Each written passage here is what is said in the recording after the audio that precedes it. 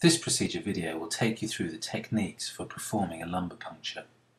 As with most potential procedures, you may be asked to perform either part of the procedure or most of the procedure in the OSCE station. It may be that you're asked to explain the procedure to a medical student and explain the indications for performing a lumbar puncture in the emergency department. Again, a formal introduction, an explanation of the procedure, and obtaining of verbal consent is essential. This is of course a sterile procedure and as such universal precautions are mandatory.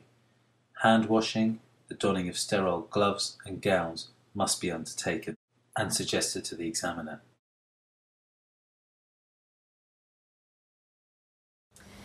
Now we're going to talk through how to do a lumbar puncture. Explain to the patient why this needs to be done and exactly what you're going to do. Make sure the patient is comfortable and understands this is very, very important. You lie them on their left lateral side with their back very close to the edge of the bed. Their knees bent up and their chin tucked in. It's often a good idea to also have a pillow underneath their head and sometimes also to put a pillow between their legs will also help. So while they're in that position, warn them they'll be there for a good 5-10 minutes and then start preparing your equipment. And now put on sterile gloves.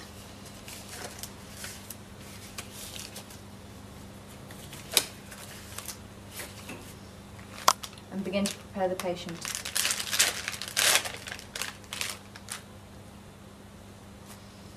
So with your gauze,